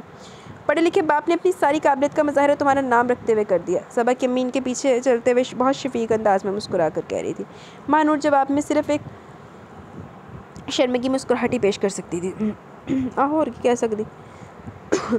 छुट्टी की बैल सुनते गोया दिल ही बैठ गया इतना कुछ करने के बाद मज़ाहिर के तावन करने वाली यकीन दहानियों के बावजूद इसे किसी तरह चैन नहीं आता और फिर आज सुबह तो हद ही हो गई थी। तरह तरह के वहम, सितारे थे, ऐसा ना हो वो घर में कदम रखे और सामने इसकी अम्मा डायमंड की अंगूठी लिए मुंतजिर बैठी हूँ। इसके हाल क्या आते इसकी हालत गैर होने लगी। कोई नहीं, डायमंड की अंगूठी ला के बेच के खाई हुई। छुट्टी के बाद का मखसूस शोर आहिस्ता आहिस्ता मध्यम पड़ने लगा। सब अभी खुदा हाफिज़ कहकर जा चुकी थी। पियन आते जाते इसे बड़े सवाली अंदाज में देख रहा था। पर सीने से लगाए सिया चादर में लिपटी मुतफक्र सी महानूर, इसके जहन में सवाल पैदा कर रही थी किसी तस्वीर की तरह साख मगर पुरतासर। आपको कोई लेने आएगा? आखिरकार पियन से रहा ना गया कौन आएगा? वो चौंक कर बदहवास से पूछी थी। सब जा चुके मैं समझा आप किसी का इंतज़ार करिए पियन बहुत मदब अंदाज में कह रहा था। मैं किसका इंतज़ार करूँगी? वो मैं दरअसल कहीं टेस्ट की कॉपियाँ रख कर भूल गई थी। अगर मैं राज में भी नहीं है खैर, मैं सुबह देख लूँगी। वो अपनी उलझन छुपाकर बड़े सुकून से मुस्कुराई। अच्छा बाबा, खुदा हाफिज़। गेट से बाहर कदम रखते इसने चौंकने के अंदाज में दाएँ बाएँ और सामने देखा। हालाँकि इस तरह वो इसे कहीं नज़र नहीं आया। वो तो किसी कोने से अचानक सामने आ जाया करता था। गर्मियों की दोपहर में तो घर में खामोशी बोलती थी। जल्दी बलती गलियों में सड़कों पर रौनक क्यों कर होती? कितने बेहिस है मज़ाहिर भाई। कि गाड़ी का इंतज़ाम नहीं कर सकते थे? ड्राइवर भी रखते हैं क्या इन्हें? अंदाज़ा नहीं हुआ होगा कि मैं कितनी डर रही हूँ। बड़ी फितरी सी बात है। बेबसी इंसान को दूसरे में कोताहियाँ भी याद आने लगती हैं, जिन्हें आम हालात में वो सोचना भी पसंद नहीं करता। लेकिन इतने ज़रा से फासले के लिए गाड़ी भिजवाने का ध्यान आ भी कैसे सकता था? वो ज़बानी बदतमीज़ी तो कर सकता है। सालम निकलने से तो रहा। वो धेड़बन कैफियत में अच्छा खासा फासला तय कर चुकी थी। घर करीब ही आ चुका था कि वो खौफ से बेहोश होते होते बची। वही इस रोज़ वाली सियाह चमचम करती कार बिल्कुल इसके करीब आकर रुकी, बल्कि इस तरह रोकी गई कि दाएँ या बाएँ से फ़ौरन आगे नहीं बढ़ सकती थी। गली के दोनों तरफ़ मकानात बने हुए थे। सड़क खासी कशादा नहीं थी। आज शाम तैयार रहिएगा, हमारी अम्मा और बहनें पहुँच रही हैं। बस यही याद दहानी कराना थी। और कैरियत से आप क्यों डरती हैं आप मुझसे इतना? हालाँकि डरते हुए आप और ज़्यादा अच्छी लगती हैं। मेरा दिल चाहता है एक रोज़ आपको इतना डराऊँ कि डर के मारे आप बेहोश हो जाएँ। इस वक्त तो आप और ज़्यादा अच्छी लगेंगी। इतनी कि मेरा जहनी तोज़न भी बिगड़ सकता है। विश यू गुड लक इसने गाड़ी जन से आगे बढ़ा दी। लाख दिलाना तेरे थे बगैर था बेहोश हो हुए दुख, खौफ, एहसास तो हीन से चंद कतरे आँखों से फिसल कर उकसारों पर लुढ़क आए, जो इसने फ़ौरन चादर से पहुँच डाले। कौन कहते इसकी माँ भली औरत है? भली औरत होती तो कभी हमारे दरवाजे तक ना आती। सुबह अल्लाह, बहनें भी आएँगी। अल्लाह मुझे हिम्मत दे। इनसे तो निपटूँगी मैं अच्छी तरह। इसने दुख और खौफ के एहसास से जान छुड़ाने के लिए आगे की मनसूबाबंदी शुरू कर दी। घर में दाखिल हुई तो वही रोज़ाना का माहौल था। अब्बा जान मस्जिद किए हुए थे, आरफा किचन में थी और बर्तनों की खटर पटर दोपहर के खाने का इंतज़ाम बता रही थी। शमसा भी कॉलेज से नहीं लौटी थी, वो सलाम करके कमरे में चली आई। घर में दाखिल होते हुए रोज़ाना कितना सुकून महसूस होता था कि अब नमाज़ और खाने के बाद असर तक सिर्फ़ सोना है। सोकर उठने के बाद तो कितना फ़्रेश महसूस करती थी। फिर रात के तक कॉपियों में सर खपाना भी बोझ महसूस नहीं होता, मगर अब तो सुकून का एहसास ही रुखसत हो गया था। आने वाली शाम के ख्याल से जहन में आंधियाँ से चलने लगी थी। नौकरों में एक कार फूसी, काना फूसी जा रही थी। आज मून साहब घर पर थे और इस तरह से वो दोपहर होने को आई थी। मगर बेडरूम का दरवाज़ा एक मरतबा भी नहीं खुला था। ना नाश्ते के लिए, ना लंच के लिए हत्या कि एक प्याली चाय की आवाज़ भी नहीं आई। गालिब यह ख्याल यही था कि साहब की तबीयत शायद ठीक नहीं, सब एक दूसरे से कह रहे थे कि किसी को दस्तक देकर खैरियत मालूम करनी नहीं चाहिए, मगर इनमें से किसी की हिम्मत नहीं हो रही थी। अगरचे मासी ने बता दी था कि मोमिल की वजह से साहब देर से सोए थे। शायद इसलिए सो रहे हैं, मगर नौकर हैरत से ये सोच रहे थे कि दोपहर ढलने को आई, अब तक नींद पूरी नहीं हुई। आखिर शमसी ने ही हिम्मत की और दरवाजे पर दस्तक दे डाली। कौन? मून की मुझे माल आवाज़ आई। सब, मैं हूँ शमसी। आपकी तबीयत ठीक है? वो मोतबाना अंदाज में पूछा था। हाँ मासी को भेजो मेरे रूम में। इसकी थकी थकी आवाज़ में तहकम था। ओके साहब चमसी पलट गया और मासी को पैगाम पहुँचाया। मासी तो खुद फिक्रमंद थी, हुक्म सुनते ही लश्तम लश्तम दौड़ी। दरवाजे पर दस्तक देकर जवाब का इंतज़ार के बगैर बोली, साहब, मैं हूँ जैनब। आ जाओ मासी, दरवाज़ा खुला मून की धीमी और भारी आवाज़ मासी ने सुनी, फ़ौरन हैंडल घुमाया और दरवाज़ा वाक करके अंदर झांका कैसी तबीयत है साहब? ठीक हूँ, कोई फ़ोन तो नहीं आया मेरा? वो इससे निगाह चुरा कर पूछ रहा था। पता नहीं कितने फ़ोन आ चुके शमसीन और अल्लाह यार ने सुने थे। इनको पता होगा किस किस के थे। मासी वहीं दरवाजे में रुक कर जवाब दे रही थी। इसके पास कौन है? तुम क्यों आ गए? इसको वहाँ छोड़कर कैसी तबीयत है इसकी? मासी ने निगाह उठाकर मून का चेहरा देखा। सुर्ख बेख्वाब आँखें बढ़ी हुई, शेप की रुखसारों पर स्याही मल का शब, ख्वाबी का लाइट ब्राउन मलबूस। ऐसा हुआ तो इसने साहब का कभी नहीं देखा था, शम्स हमेशा कमरे से तैयार होकर बाहर आते थे। इस तरह से देखने वाले की अपनी निगाह में ताजगी उतर आती थी। वो इधर बेगम साहिबा भी नहीं है ना, साहब फिर इनका कुछ पता भी नहीं कब वापस आ जाए। मैंने ड्राइवर से कह दिया था कि शाम तक के लिए अपनी औरत को भेज दे। इतने में इधर के काम निपटा लूँ। वैसे तो वो सो रही थी, नींद के इंजेक्शन लगाए थे डॉक्टर ने। डॉक्टर साहब कह रहे थे कि किसी सदमे से इसके दिमाग पर असर हो गया। भला इसकी उम्र है सदमे की? हो सकता है अपने माँ बाप को याद करती हो। आपके लिए चाय लाऊँ, साहब? वो बोलते बोलते जैसे किसी ध्यान से चौंकी। मोहन बिस्तर से उतर कर आईने के सामने जा खड़ा और अपनी बड़ी हुई शेप पर हाथ फैलते हुए कुछ सोचने लगा। साहब, आप डॉक्टर साहब को टेलीफोन कर दीजिएगा, ज़रा इन पर असर पड़ेगा, ज़रा ध्यान से इसका इलाज करेंगे। नौकर पेशा लोगों का आजकल कौन ख्याल करता है? वो ये कहते हुए पलट के मोन ने अपनी आँखों की सुर्खी ज़रा कोर्स से पड़ी इसे एहसास हुआ कि बसा अवकात खुद से आँख मिलाना भी कितना बड़ा मरला होता। है ऐसी शर्मिंदगी भी डुब के मर जा, खुदकुशी करके मर जा, लानती या बेगैरत आदमी। हाँ तो जमाल भाई, वहाँ आपके पुदीने के बाग होते थे जिनमें आप झूले डालकर अपने दो दोस्तों के साथ पिंगे लेते थे। लाहौल वाला जमाल तो बाकायदा खौफसदा और करीबा की शक्ल देखने लगा, जैसे किस दिमागी हालत पर शुबा हो रहा तो फिर और क्या किस्से सुनाएँगे? वहाँ के ये जो इजहार भाई कह रहे हैं, वहाँ के किस्से सुनाइए। जैसे इनको वहाँ के किस्से सुनने को नहीं मिलते, सब पता है हमें वहाँ के किस्से। कभी अखबारों में तस्वीरें देखते हैं कि दिलीप कुमार साहब मुसलमानों की बस्ती में रोटियाँ तकसीम करते हैं। कभी खबर मिलती है कि वहाँ मस्जिद शहीद करके मंदिर बनाया जा रहा है कि इनके किसी बड़े को भरी हुई थाल से खेरट करते हुए इल्हाम हो गया था कि खीर डकारते हुए इल्हाम हो गया था कि पिछले वक्तों में यहाँ कोई मंदिर था। रिबा ने तलख हकाइक बयान करके महफिल का मज़ा किरकिरा कर दिया। जमालियों खिचल सा हो गया जैसे इन सब वाक़ात में इसका अपना हाथ हो। सिरे सिरे मुसलमानों की हालत ज़ार बताइए ताकि हम सब थोड़ा रो लें जब बोले कि बेमौका और बेतुका, बड़ी अम्मा फासले पर पीछे तख्त पर तस्बी की गर्दिश तमाम करके इसे डांटने लगी। लो बताओ, बच्चे अपनी बातें भी ना करें। तो बड़ी अम्मा, बच्चे अपनी बातें तो करें, मुझ समेत इसने फ़ौरन जवाब दिया। कोई ज़रूरत नहीं है लौंडियों लोंडो लपाटों की बैठक में कूदने की। जब ये बैठक करो तो तुम बावर्ची खाने में काम किया करो। ज़रा परेशान करने की ज़रूरत नहीं, अगर तुम बात नहीं तो तुम्हारे भाइयों की एक नहीं चलने दूँगी, तुम्हारे हाथ पीले कर दूँगी। आप हाथ पीले करेंगी, बड़ी अम्मा, और ब्यूटी पार्लर वाली मुँह लाल कर देंगी। मेरा मतलब है मेकअप से, निकाह का जोड़ा ग्रीन बनवा दीजिएगा। वॉल्स वालों को सोलह रुपये वॉकी आइसक्रीम लगेगी हमारी रीबा। मज़हर को बड़ा सुनहरी मौका हाथ लगा। उन मज़हर ने करानी रीबा को अपनी गोले गंडे में भी कई रंग होते हैं इस हार ने दरियाफ्त किया। बोले जाएँगे, हालाँकि सबको पता है मैं शादी नहीं करूँगा, या तो डॉक्टर बनूँगा या पायलट। इंडिपेंडेंट लाइफ गुजारूँगा। ए हाँ तुम बच रही जान चलाने को, बाकी तो सब अपने अपने अरमान पर पूरे कर चुके। बड़ी अम्मा बड़बड़ाते हुए बुट बैठी और पान तान खोलिए। लोग कहते हैं हम लड़कियों को ये बनाएँगे, वो बनाएँगे, कोई ये नहीं कहता कि हम अपनी बच्ची को अच्छी इंसान, अच्छी औरत बनाएँगे। चार दीवारी से ज़्यादा कोई चीज़ औरत को इतमान तो हफ्ज नहीं दे सकती। ख्वाह जो भी बन जाए, या वो होती है औरत। एक गाली से जो गलती से भी दे दी गई हो, या एक तहमत से जो मगालते में लग गई हो। ख्वाह अंदर से वो कितनी उजली और शफाफ हो धुंधला कर रह जाती है, औरत अपने मर्द और बच्चों से भारी होती है। अठारह बरस की उम्र में लड़की का घर बार का कर देना चाहिए। मेरे सामने ये लौंडापन नहीं चलेगा। बारहवीं का इम्तिहान हो जाए तुम्हारा फिर बस, फिर हो गई बहुत पढ़ाई। रीबा तो बड़ी अम्मा का सीरियस मूड भाम कर कुछ भाइयों की शरीर मुस्कुराहट की वजह से मुँह बस औरती किचन में चली इसे ऑफ़ मूड में अलम गलम खाने की आदत थी। अब्दुल करीम बाबा, आज कोई अच्छी सी स्वीट डिश बना लीजिए, बड़ी अम्मा ने अंदर से कड़वा करके रख दिया। वो फ्रिज से फ्रेश क्रीम केक निकालते हुए कह रही थी, बाबा नहीं, मैं बीबी हाँ मैं जमाल। रीबा के लिए बड़ी अनहोनी थी, जमाल किचन में क्यों चला? इसने केक टेबल पर रखते हुए बहुत ताजुब से कहा, जी, जमाल भाई, खैरियत? जी हाँ अल्हम्दुलिल्लाह, बस वो इधर आपकी शादी की बात चल रही थी ना तो गुमान गुजरा, मेरा मतलब है आपकी मंगनी वगैरह हो चुकी है? ओह रिबा ने गोया सर पीट लिया। वही, बड़ी अम्मा से पूछ लेते, बड़ी जहमत की आपने रिबा की हँसी छूट गई। बस बड़ों के सामने सवाल जवाब कुछ अच्छे नहीं लगते, वो कदे शर्मसार नज़र आए। मज़र और इजहार भाई तो आपसे छोटे हैं, इनके कान में पूछ लेते रीबा ने केक पर छुरी चलाते मुखलसाना मशवरा दिया, जमाल बेचारा जज्बस होकर रह गया। केक खाइए, बहुत मज़ेदार है पाइन से भरा हुआ है। मुझे तो जब भी गुस्सा आता है, मज़ेदार से कोई चीज़ खाता हूँ, तब जाकर उतरता है। जी, शुक्रिया, जमाल ने माजरत कर ली। वैसे इंसान अकलमंद वही है जो हकीकत को तस्लीम कर ले, बड़ी अम्मा गलत नहीं कह रही, वो जाते जाते एक लम्हे को रुक कर गोया हुआ। एक मिनट एक मिनट, जमाल भाई, वो मेज़ पर चढ़ी बैठी थी उछल कर उतरी जमाल का रास्ता रोकने लगी। जमाल ठहर गया, जी। इंसान की ज़ुबान कोई चीज़ होती है, आप अपनी ज़ुबान से फिर रहे हैं। आप छोटी और दादी जान पड़ी हैं, इनकी ज़ात और बात सबसे अहम होना चाहिए। इस वक्त मुझे अंदाज़ा नहीं था कि वो आपका लड़कापन इतना सख्त नापसंद करती है। जमाल ने बड़ी सादगी मगर संजीदगी संजीदगी से जवाब दिया। हूँ तो ठीक है, हमारे आपके ताल्लुक ही ख़त्म। हमारे ताल्लुक सिर्फ़ इन लोगों के साथ ही खुशगवार रह सकते हैं, जो हमसे कूल ट्रीट करते हैं। हाँ जो हमसे इक्वल ट्रीट करते हैं।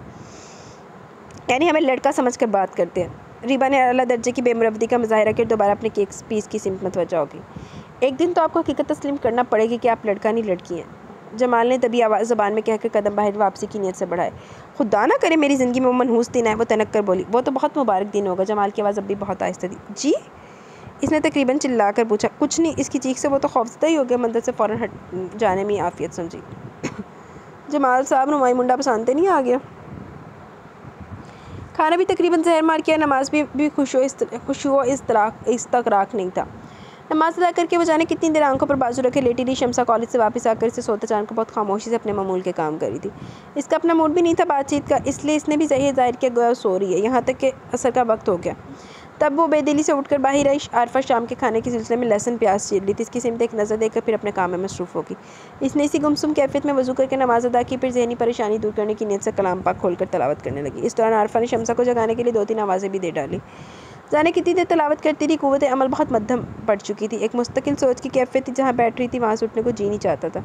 कलाम पाक बंद करके वो फिर सोच में गर्क थी कि शमसा चाय का कप इसके करीब रखी है। कहते हुए, कौन सा वजीफ़ा शुरू किया आपा इसने कलाम पाक उठाकर इसकी जगह पर रखा और पलंग पर बैठकर चाय पीने लगी। कभी कभार निगाह खुद ब खुद दाखिली दरवाजे की सिमत उठ जाती थी। चाय ख़त्म करके माँ का हाथ बटाने की नीयत से कमरे से बाहर आई तो दरवाजे पर दस्तक हुई। इसका दिल बड़े ज़ोर से धड़का। हालाँकि वो दरवाजे से नज़दीक थी, मगर दरवाज़ा खोलने की हिम्मत नहीं थी। वो अनजान बनकर किचन में चली गई।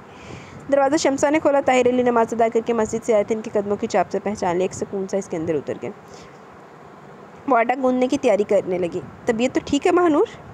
आरफा ने इसकी गुमसुम कैफियत महसूस कर ली। जी अम्मी, ठीक हूँ। इसने ज़बरदस्ती अपने चेहरे पर बशाशत तारी करते हुए जवाब दिया। बोलती तो कमी हो मगर आज पता नहीं क्यों बहुत गुमसुम सी महसूस हो रही हो। पतीली निकालते हुए इसकी सिम देख रही थी। नहीं अम्मी, ऐसी तो कोई बात नहीं हो। फिर ज़बरदस्ती मुस्कुराई। इसलिए में दरवाजे पर दस्तक हुई, बर्तन महानूर के हाथ छूटते छूटते रह गया। कौन? ताहिर अली, दरवाज़ा खोलने से पहले आरतन पूछ रहे थे महानूर साक्षी आने वालों की तरफ़ मतवज आहा, वालेकुम असलम अरे भट्टी, आरफा आज तो अरे भाई आरफा आज तो बहुत बड़े बड़े लोग आए हैं हमारे यहाँ। इनके लहजे की बशाशत और गर्म जोशी से ज़ाहिर तक कोई जानने वाला ही है। आरफा फ़ौरन किचन से निकल गई। अरे मज़ाहिर, वालेकुम अस्सलाम। अरे भाई, आज सूरज किधर से निकला है? इस दिन तो महानूर को घर पहुँचा कर उल्टे कदमों चले गए। मुझे बहुत दुख था। मगर महानूर कहने लगी कि अम्मी बहुत ज़रूरी काम होते हैं, इन्हें फिर आएँगे। मैं समझी, यूँ ही कह रही है, मगर तुम तो वाकई सामने जीतते रहो। अल्लाह खुशियाँ नसीब करे। बैठो ना। महानूर तो एकदम यूँ होगी जैसे इसके सारे मसले ही हल हो गए। वो बड़ी हल्की फुल्की कैफियत में किचन से बाहर आए सामने वाइट शलवार के सूट में जिसमें ज़बरदस्त कलफ लगा हुआ था, मलबूस पड़े निखरे निखरे से मज़ाहिर मौजूद थे। इसने अपने मखसूस दबे दबे लहजे में सलाम किया। इधर सलाम की, सर की जंबिश काफ़ी समझी गई। अलबत्त एक चटती सी निकाह उन्होंने महानूर के चेहरे पर ज़रूर डाली। कैसे रास्ता भूले भाई? ताहिर अली बहुत खुश नज़र आ रहे थे। अब यूँ शर्मिंदा तो ना करे पप्पा जान। मसरूफियत इस नवैयत की है कि बस मुश्किल से खाना खाने का वक्त ही निकल पा, मिल पाता है। मज़ाहिर इतनी गर्म गर्मजोशी देखकर तरह हकीकत खासे खफीफ से नज़र आ रहे थे महानूर सलाम के बाद वापस किचन में आके इस वक्त वो वाकई बहुत खुश थी। इसे कभी उम्मीद नहीं थी कि मज़ाहिर आ जाएँगे। अब शमसा की बातें करने की आवाज़ आ रही थी। खुशी से भरपूर लहजा, शायद इसके लिए भी बहुत ज़्यादा गैर मतवक़ा था। वो जल्दी से चाय बनाने लगी। हूँ महसूस हो रहा था जैसे अब कोई मसला ही नहीं। वो लाशावरी तौर पर तशक्र के जज्बात से मगलूब थी। इस मत पर दरवाजे पर दस्तक हुई तो वो चौंकी ज़रूर, मगर परेशान नहीं हुई। इसलिए से पता ही नहीं चला कि किसने दरवाज़ा खोला कौन आया। अलबत्त जब आरफा की आवाज़ आई, आइए, आप लोग कमरे में आ जाइए। तब एक लहजे को उसका रवा रवा खड़ा हो गया। यानी आगे वो लोग, जी, मेहमान आए। क्या हमारा अपना बच्चा है? मेरा भतीजा अभी अभी आया ये भी। बहुत दिनों बाद पढ़ाई और रोज़ की झमेले ही बहुत हैं। आरफा की आवाज़ इस तक बहुत पास से पहुँच थी। वो फिर उलझ की, अब क्या बातें होंगी? क्या होगा? चंद मिनटों बाद आरफा किचन में दाखिल हुई। सैयद साहब की बेगम और तीन खातन इनके साथ हैं। चाय बना लो, शमसा को भेजती हूँ, बर्तन वगैरह निकाल लेगी। तुम्हारे अब्बा से समोसे वगैरह मंगवा रही हूँ, चाय, खाली चाय लेकर मत आ जाना। किसको ले आई हैं सैयद साहब की बेगम? इसने वाजह नागवारी के साथ पूछा। वही हैं, पाशा, मिनहाज हुसैन, पाशा की अम्मी और इसकी दो बहनें। वो इससे निगाहें चुरा कर बोली और फ़ौरन बाहर निकल गई। मज़ाहिर बरामदे में तनहा हो गए, वो चाय का पानी रखकर बाहर आ गई और मज़ाहिर के बराबर वाले मुड़े पर बैठ गई। यही हैं वो लोग मज़ाहिर भाई, इसी आवारा की माँ बहनें वो गोया दांत पीस रही थी। तुम क्यों अपनी जान चला रही होगा? तो वही जो हम चाहेंगे डोंट वरी बहुत अच्छा हुआ आप आगे। मैं आपका सिर्फ़ शुक्रिया अदाई कर सकती हूँ। मैं भी वक्त निकाल कर बहुत मुश्किल से तुम्हारा शुक्रिया वसूल करना है। बेवकूफ़ लड़की, वो कदर खफकी से गोया है। मैं किचन में जा रही हूँ, आप अम्मी से कह दीजिएगा, मुझे इन लोगों से मिलवाने की कोई ज़रूरत नहीं है। कहीं खरी खरी ना सुना बैठूँ। वो उठते हुए बड़े बेजार कन लहजे में गोया हुई। जिसे सुनाना चाहिए, इसे क्यों नहीं सुनाई? मज़ाहिर का लहजा लाशावरी तौर पर शरीर से हो गया। मानूर बुरी तरह छाम के और जल्दी से किचन की सिंध बैठ गई, फ़ौरन शमसा भी आ गई। हाय आपा कितनी प्यारी है रिश्ते वालियाँ गालबन इसे सुनकर मिल गई थी, इसके कान में सरगोशी में कह रही थी हाँ बस तुम यूँ ही शक्लों पर लट्टू हो जाया करो, वो जलकर बोली। फिर किस पर लट्टू? लट्टू तो होते शक्लों पर है। सच्ची आपा मुझे तो बहुत अच्छी लगी, बहुत अमीर लग रही है। बड़ी वाली बहन ने इतना प्यारा सूट पहना हुआ है कि क्या बताऊँ, और परफ्यूम भी बड़ा ज़बरदस्त लगा रखा है। मैं तो खुशबुओं में मस्त बैठी हुई थी। अम्मी ने यहाँ भेज दिया। हाय अल्लाह मज़ाहिर भाई अकेले बैठे हुए इतने अरसे बाद आए, क्या सोचते होंगे मैं जाती हूँ इनके पास? जाऊँ अब यही तो रखें बर्तन अम्मी कह रही हैं, लाजमी मैं साफ़ करूँ। नहीं नहीं, तुम जाओ मज़ाहिर भाई के पास बैठो, मैं खुद कर लूँगी साफ़। इसने भी गोयाई से वहाँ रुखसत करने में आफिया जाने के, मजीद जाने क्या क्या तबसरे सुनने को मिले।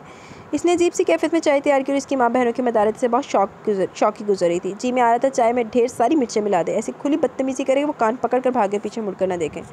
माँ पर अदा की कसूर गानते वो वाना वो बर्तन सेट करते हुए नाकबले अमल नाकबिल अमल मनसूबे बना रही थी। इस तरह अंदर की कुछ खोलन कम हो रही थी। इस वक्त शमसा दो लफाफे लिए किचन में दाखिल हुई। एक लफाफे में गर्म समोसे और दूसरे में बिस्किट थे। वो आते बिना कोई बात की अशिया प्लेटों में निकालने लगी। प्लेटें से जाने के बाद उसकी सिमत पलटी आपा जब अम्मा बहनें अच्छी हैं तो वो खुद भी तो अच्छा होगा। हम्म, कोई फार्मूला है क्या? कोई नू का बेटा भी हो था।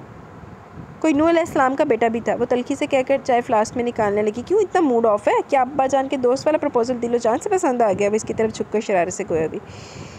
हर वक्त की शरारत अच्छी नहीं होती। जाओ तुम अंदर चाय ले जाओ। मैं मज़ाहिर भाई और अब्बा को देकर दे दूँ। इसने फिर दृष्टि से कहा। शमसा ने एक नज़र इसके चेहरे पर डाली, ट्रे उठाकर बाहर निकल गई और दूसरी ट्रे सजाकर बाहर आ गई। मज़ाहिर और ताहिर, अली बहुत धीमी आवाज़ में बड़ी संजीदगी से मैं महवे गुफ्तु थे। इसने बड़े तपाई पर, ट्रे तपाई पर रखकर मज़ाहिर की सिम देखा। वो सोचती हुई नज़रें इसके चेहरे पर जुमाए हुए थे। इसने फ़ौरन नज़र चुका ली और चाय का कप इनकी तरफ़ बढ़ा दी जो इन्होंने ताहिर अली को थमा दिया और दूसरा कप खुद आगे बढ़कर उठा लिया। मानू ने ध्यान दिया तो अंदर से बातों की आवाज़ बहुत वाज आ रही थी। जाने अब तक की क्या क्या बातें हुई होंगी? लेकिन मज़ाहिर ने सुनी होंगी। इसने कदर खिफत भरे अंदाज में मज़ाहिर की तरफ़ सिम देखा। बेटी, ये कौन मेहमान है? तुम्हें इनके पास भी जाना चाहिए। बाज़ लोग छोटी छोटी बातें बहुत महसूस करते हैं। ताहिर अली ने बड़ी सादगी शफकत से मुखातिब किया। इसका मतलब अंदर होने वाली गुफ्तु पर ताहिर अली ने कोई ध्यान नहीं दिया। इसने बड़ी बेबसी से मज़ाहिर की सिम देखा, वह नज़र चुराने लगे, मगर एक मानी खेज मुस्कुराहट इनके होंटों पर नज़र आई। चलो जी। एक तो जरा मज़ाहिर भी चुचके लेने लग। पता ना मेरा दिल करता है मुझे छितर मारा फाड़ गए हम अपनी बातें करें तुम अंदर मेहमानों के पास जाओ, इनके साथ चाय पियो। इसी यूँ महसूस हुआ, ताहिर अली इसकी मौजूदगी में बात नहीं कर पा रही है। इनकी अखलाकियात बहुत मज़बूत थी। इसने फिर मदद तलब नज़रों से मज़ाहिर की सिम देखा। कोई हर्ज नहीं। वो फिर निगाम बचा कर कह रहे थे, वो तोन हो करहन उठ गई, खड़ी हुई और दुपट्टा दुरुस्त करके सामने कमरे में चली है, जो दिन भर के लिए ड्राइंग रूम और रात को बेडरूम की शक्ल इख्तियार कर लेता था। अस्सलाम इसके लिए निगाह उठाना दो बार वालेकुम अस्सलाम, जीती रहो, आबाद रहो। ये है महनूर सैयद साहब की बेगम की आवाज़ इसकी समाज से टकराई। बेटी है ये, हमारी मुँह बहन है। बेटी है हमारी मुँह बली बहन और ये इनकी बेटियाँ सबिहा और मलिहा, इन्होंने तारुफ करवाया। इधर आए हमारे पास बैठे। कहाँ छुपी हुई थी? इतनी देर से? हम कितनी देर से कह रहे हैं? खाला चाँद से कि मानूर को बुलवाएँ। मलिहा ने अपने नज़दीक सोफे पर जगह बनाते हुए बड़े पुश शौकत पुरतपाक अंदाज में कहा। वो खुद पर जबर करती हुई इसके बराबर में बैठ की निगाह उठाकर किसी में देखने का यारा इसमें ना था। यहाँ कौन से स्कूल में पढ़ाती हैं? मलिहा ने पुश शौक अंदाज में इसका चेहरा देखते हुए सवाल किया। Bright future public school. इसे बाद नाखवास्ता जवाब देना पड़ा। अल्लाह करे वहाँ पढ़ने और पढ़ाने वालों का फ्यूचर ब्राइट हो। सभी ने मुस्कुरा कर टुकड़ा लगाया शहरत तो बहुत अच्छी है इस स्कूल की। सैयद साहब की बेगम ने भी हिस्सा लिया। हाँ जहाँ ऐसे पढ़ाने वाले हों, वहाँ की शहरत अच्छी होना चाहिए मलिया खिलखिलाई। मानू ने माँ की तरफ़ देखा हुआ कह रही अम्मी, क्या तमाशा है? आरफा ने नज़रों का रुख मोड़ लिया और सैयद साहब की बेगम की तरफ़ मतवजा होगी जो बहुत गौर से इनके चेहरे का जायज़ा ले रही थी। आपकी बेटी को देखकर ये अंदाज़ा होता है खाला जान कि ये जहाँ होगी, वो माहौल बहुत मस्बत और खुशगवार होगा। आपसे ये दरख्वास्त है कि आप हमारी दरख्वास्त पर ज़रूर गौर फरमाएँ। एक अजीम नेकी का मौका मिल रहा है, आप लोगों को सभी आरफा से मुखातिब हुई। मैंने अर्ज़ किया ना, हम इस रिश्ते, का रिश्ता तय कर चुके हैं। आप समझती हैं, इन मामला में ज़ुबानी की अहमियत होती है। आप लोग बहुत माकूल हैं, आपसे मिलकर बहुत खुशी हुई। मगर आप लोगों को देर होगी। मुझे भी बहुत अफसोस है, आपको दूसरी बहुत अच्छी लड़की मिल जाएगी, जो आपके बेटे को सीधे रास्ते पर ले आए। इन आरफा ने बहुत इखलाक मरबत से नपतुल अंदाज में वाजा इनकार कर दिया। तो उसी माँ भैन सारिया रल के उन्होंने अच्छा आई तो ले आ नहीं सकियाँ तो एक कल की कुड़ी अज की कुड़ी तो लै आएगी। काश आप हमारी मुश्किल समझ सके कमरुन्निसा ने बड़े दिलसोस लहजे में कहा। अरफा खामोशी, वाकई काश आप हमारी मुश्किल समझ सकती, मिलिया बहुत आजुर्दा नज़र आई। मैंने कहा ना, मुझे खुद बहुत अफसोस है, आरफा ने जवाब दिया माहौल पर यकलक तक गहरा सकूत तारी हो गया। वो मुझे ज़रा किचन में काम है, इस पर मामा हनूर के अंदाज में बिला का इतमान और सुकून था, वो बड़ी खुदत मादी से माजत करके उठ खड़ी हुई। सबिया मलिया ने जाती हुई महानूर की पुष्ट पर लहराती चोटी पर एक अफसरदा से निगाह की और चादर दुरुस्त करती हुई खुद भी उठ खड़ी हुई। चले अम्मी, वो परेशान सी कमर हिस्सा से मुखातिब हुई। बैठिए ना आप लोग, आरफा ने खिलाकन का काश इस घर में आए रोज़ बैठते, मलिया माँ का बेहद परेशान चेहरा देखते हुए कह रही थी। सैयद साहब की बेगम भी बहुत मतफक्र नज़र आ रही थी कि कमरुनिसा की महरम राज थी। आरफा इनको अल्लाह हाफिज़ खुदा कहकर दरवाजे तक गई, फिर दरवाज़ा बंद करके ताहिर मुजाहिर की तरफ़ आ गई। कहाँ से आए थे मेहमान? आरफा ने मसलता अभी तक ताहिर अली को इसके बारे में नहीं बताया था।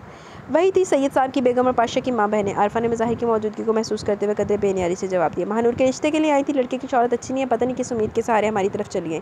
सोचा अगर सफ़ेद पोश लोग इनकी शानों हमारे से मरूब होकर बेटी दे देंगे, ताहिर अली ने मज़ाहिर अली को अपनी दानिश में मतला किया। माँ बहनें तो बहुत माकूल हैं धीमी और सादा सी। पता नहीं लड़का किस पर गया। इनकार सुनकर चेहरे उतर गए बेचारियों के।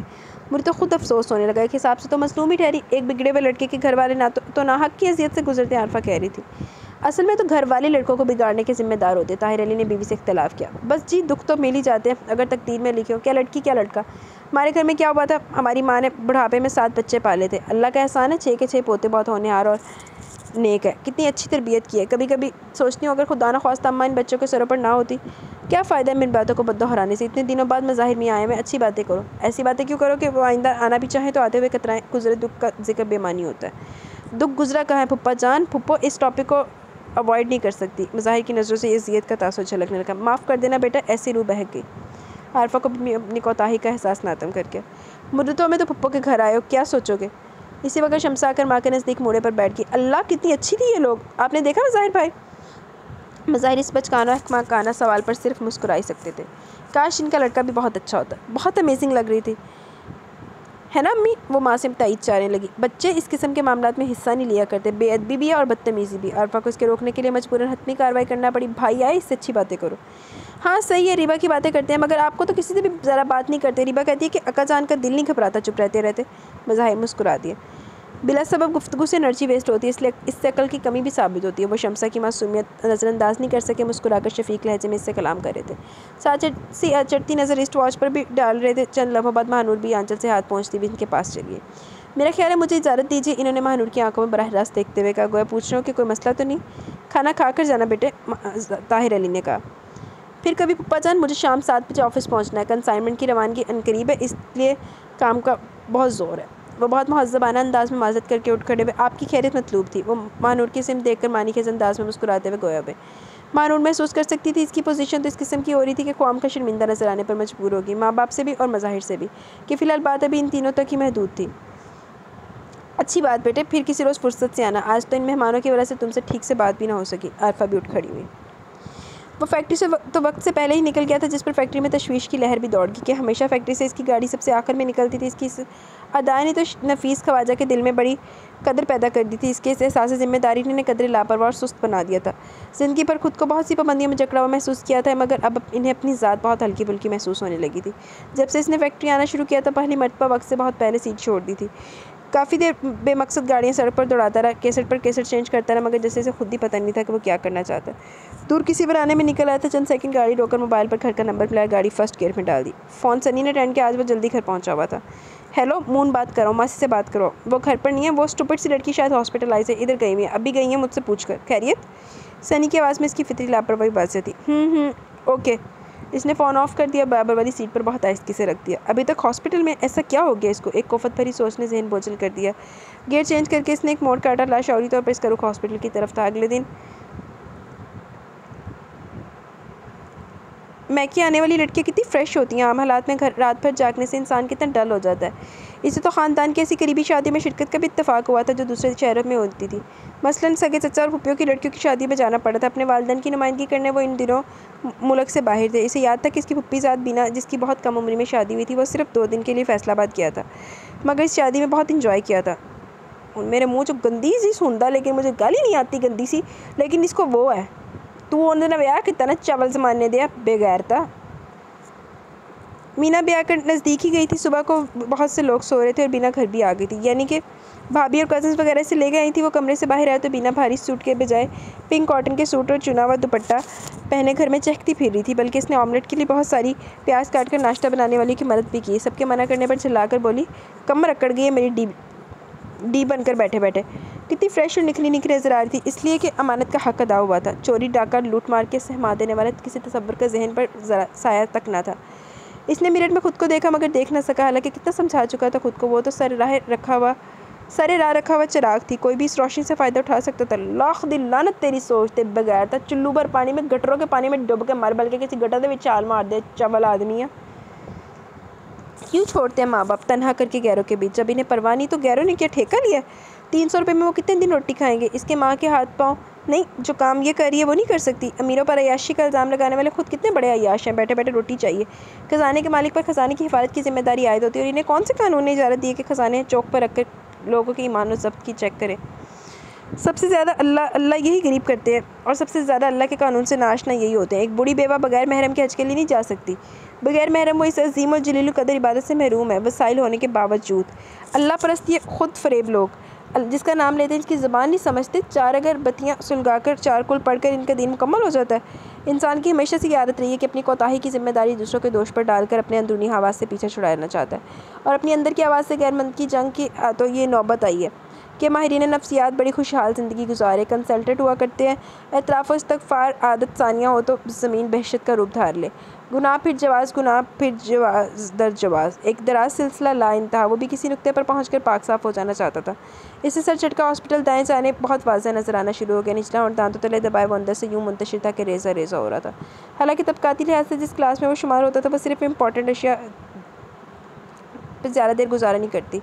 इसकी नज़र बाद में नज़रियात में भी इंपॉर्टेंट होते हैं। हर तरफ़, हर ट्रिप इसे पहले से ज़्यादा बेहतर अमेरिकी अमरीकी अंग्रेज़ बना देता है। इस क्लास में ये कोई बात नहीं होती। शायद इसका नशरियाती रबता इसलिए माइक्रोवेव पर था कि इसकी माँ लोअर मिडिल क्लास से ताल्लुक़ रखती थी। अगर जो सनी, सुनी सुनाई बातें थी, वो भी शहाना के तवस्त से तानों की सूरत में। इस क्लास की बहुत सी महरूमियाँ इंसानों को खुद खुद सर बना देती हैं कि अम्मा वक्त की कुड़न इस जान को लाक रहती है कि खुद पर तर्स खाने से ज़्यादा दूसरा कोई काम ज़रूरी नहीं रहता। इंसान हसास ज़रूर होता है, लेकिन मगर सारी सियात आलमगीर और पैमाइश पर ज़ीरो ज़ीरो होती हैं। टोटली नेगेटिव हर आन खुद पर नुकता चीन और अपने मुकदस से शिकवा करना शायद अंदर की आवाज़ पर मतवजा होने की आदत माँ से वर्षे में मिली थी और काय कबूल ना करने का वर्षा बाप की तरफ़ से, कि दौलत के पर्दे में बहुत से लोगों को अपने ऐप छुपाने में कमाल महारत होता है। इसकी गाड़ी हॉस्पिटल के हाथे में दाखिल हो गई थी, मगर वो अभी तक डबल माइंडेड था कि आया जाए कि ना जाए बहरहाल गाड़ी पार्क करने के लिए अंदर बड़ा तो था वो इसके अंदर सुस्त कदमों से जीना तय कर रहा था, मगर वो आने जाने वाले तेज़ रफ्तार होने के बावजूद इसे एक नज़र देखते ज़रूर थे कि बाद लोग की तेज़ रफ्तारी में तो वो हामिल भी हुआ था, हायल भी हुआ था। माँ ने इसे अपनी गलती का एहसास हुआ, ये तो इसे मालूम नहीं था कि वो किस फ्लोर पर, किस रूम में रिसेप्शन से रबते के लिए इसे फिर नीचे जाना था, वो आखिरी सीने पर खड़ा बला की थकावट महसूस कर था इस ख्याल से कि फिर नीचे जाना है। सलाम मोन साहब, एक आवाज़ ने इसे चौंका दी इसने नज़र उठाई सामने ड्राइवर का बेटा, काकू खड़ा दांत न कूच रहा था। साहब, मोमिल को देखने आए? वो भी, मैं भी अम्मा के साथ आया था। हमारा तो दिल ही नहीं लग रहा था कोठी में मोमिल के बगैर। हमारा तो समझे कप्तान है वो, आजकल तो कोई खेल ही नहीं अगर मोमिल आए तो तभी खेलेंगे। आए, चले, मैं आपको इसके पास ले चलूँ। काकू ने पेशकश की। वो कोठी में काम करने आई है खेलने तुम इतने बड़े ऊँट, इतनी बड़ी बड़ी लड़कियों के साथ खेलते हो? इसने लफ्ज़ खेल पर न जाने की बहुत अजियत महसूस की। साहब, कोई बड़ी कहाँ है छोटी सी तो है। लंबा कद होने के बावजूद काकू सख्त अहमक समझा जाता था, इसलिए इसे जवाब देने की हमाकत कर बैठा। अच्छा शट आप नाउ वो बरहम दिखाई दिया। काकू एकदम सहम गया, वो तो अचानक साहब को सामने पाकर अपनी दानिश में खुशी और अपनाइत का इजहार कर रहा था। चलते चलते वो एक दरवाजे के सामने रुके और डरते डरते मोन की तरफ़ देखा, इधर है साहब, वो कौन कौन है अंदर, कौन कौन है अंदर? इसने खुश लहजे में पूछा। अम्मा और मासी हैं साहब, इसकी भरमी से काकू की ट्यून चेंज हो चुकी थी। मैं दरवाज़ा खोलकर अंदर दाखिल हुआ, मासी फर्श पर बहुत आरामदेह हालत में बराजमान थी, जबकि ड्राइवर की बीवी जरीना मोमिल को चम्मच से कुछ खिला रही थी। मासी मुन के सामने देखकर बुरी तरह बदहवास हो गई। जरीना भला काम करी थी, कारामद होने का एहसास सबसे बड़ी खुद एतमादी है। इसने तीमारदारी में सेकंड का तोक़ करके साहब को सलाम, अलबत्ता ज़रूर किया। क्या हाल है अब इसका? जरीना की आर्ट की वजह से उसका चेहरा नहीं देख सकता था। साथ ही इसने दोनों औरतों के चेहरे पढ़ने की कोशिश की। कम उम्र भी है और कम अक्ल भी। ऐसा ना हो कि दोनों औरतों को हम दर्दों के रूप में सामने पाकर अफ्तादो बला कह बैठी हो। दोनों के चेहरे मामूल के मुताबिक थे। अब तो ठीक है, बल्कि बहुत सुस्त और चुप है। रात तो जैसे इस पर जिन सवार था, मासी भी इसके सराहने जा खड़ी हुई। यानी सफ़र कर सकती है। अगर सफ़र कर सकती है तो ड्राइवर से को अल्लाह यार के साथ इन दोनों बहनों को गोट छोड़ा है। वो पैंट की जेबों में हाथ डालते हुए स्पार्ट लहजर धीमी आवाज़ में कह रहा था, इतनी देर में इसने मोमिल का चेहरा देखने की कोशिश लाशौरी तौर पर भी नहीं की थी। सुन लिया से आपके कह रहे, अब तो खुश है ना? वो हर वक्त गोट को याद करती रहती थी। जरीना रख कर दूर हट की चित लेटी मोमिल अब इसके सामने थी। इसकी नज़र बिला इरादा उठ की मोमिल ने दार में जवाब में चेहरा मोड़ कर रखा था। और आँखें बंद थी, ड्रिप लगी हुई थी। इसका वजदान बोल उठा तीस चालीस घंटों में बच्ची बुढ़ी हो गई। मून कुछ सोचकर आगे बढ़ा और साइड से फ़ाइल उठा ली पढ़ने लगा। एक लर्जी से खुद ब खुद इसके वजूद में सनसन गुजरने लगी। फ़ाइल के मताले के दौरान दोनों औरतें और काकू लब्बस्तर मदब बाना खड़े रहे मबाद मान दरवाज़ा खुला, डॉक्टर और नर्स अंदर है इतने लोग किस खुशी में मौजूद है? यहाँ डॉक्टर का अंदाज़ पेशा वराना था। मून फ़ाइल रखकर पलटा और अपना तारुफ करवाया। ओ बताया था डॉक्टर नियाजी ने कि आपकी मुलाजम है। अब तो बेहतर है कोई शौक पहुँचा है। मालूम करने की कोशिश की थी, मगर लगता है गूँगी है। अपना नाम तो खुद नहीं बताया। बहरहाल आप लोग चाहें तो साथ ले जा सकते हैं। ट्रिप आधे घंटे में ख़त्म हो जाएगी। चलो जी। डॉक्टर ने भी नहीं पता लग सकिया जी कि कुड़ी का रेप होया कि नहीं होया। लख दिलाना तेरे डॉक्टर की डॉक्टर की डिग्री पाड़ के सुट दो, लानती हो ठीक है, मैं अपने ड्राइवर को भेज देता हूँ। मुन्ने बैठ की तरफ़ मुकम्मल पुष्ट करते हुए कहा। मेरा मुलाजिम भी साथ होगा चार्जेस वगैरह पे कर देगा। थैंक यू नियाजी से कहिएगा, फिर मुलाकात होगी। इसने डॉक्टर से मुसाफा किया बाहर निकल गया। थैंक गॉड इसने जी भर कर खुली फिज़ा को महसूस किया। अल्लाह यार से कहता हूँ इसे ले जा गोट। माई गुडनेस इसने दोनों हाथों से बाल पीछे की तरफ़ समेटे, फिर कमर पर हाथ रखकर इधर उधर नज़र दौड़ाई। वो बहुत गहरे गहरे सांस ले रहा था जैसे कोई भारी बोझ से निजात मिली हो। चल लम्हा बाद शर्ट की जेब से कीरिंग निकाल कर दरवाज़ा खोला और बड़े पुरसकून अंदाज में सीट संभाल कर गाड़ी स्टार्ट की और नूरजहाँ की गज़लों की केसेट लगाकर प्लेयर ऑन कर लिया। लान तिब्बे गैरत आदमी। कभी किताबों में फूल रखना, कभी दरख्तों पर नाम लिखना है। हमें भी याद है वो अभी तक नज़र से हरफ सलाम लिखना। गो हेल रोमांस वो अजीब से अंदाज में मुस्कुराया। What are romance or fantasy absolutely nonsense पता नहीं ये सब फुर्सत की करिश्मा साजियाँ हैं या इज़ एनी थिंग फैक्ट हर इंसान थोड़ा बहुत रोमांटिक तो होता ही है। कहीं रोमान घर की आरइश से छलकता है, कहीं मौसीकी से, कहीं पेंटिंग से, कहीं महबूब परस्ती से तो कहीं खुद परस्ती से। इसने खुद ही तजिया करके एक नुकते की तक तो रसाई हासिल की थी।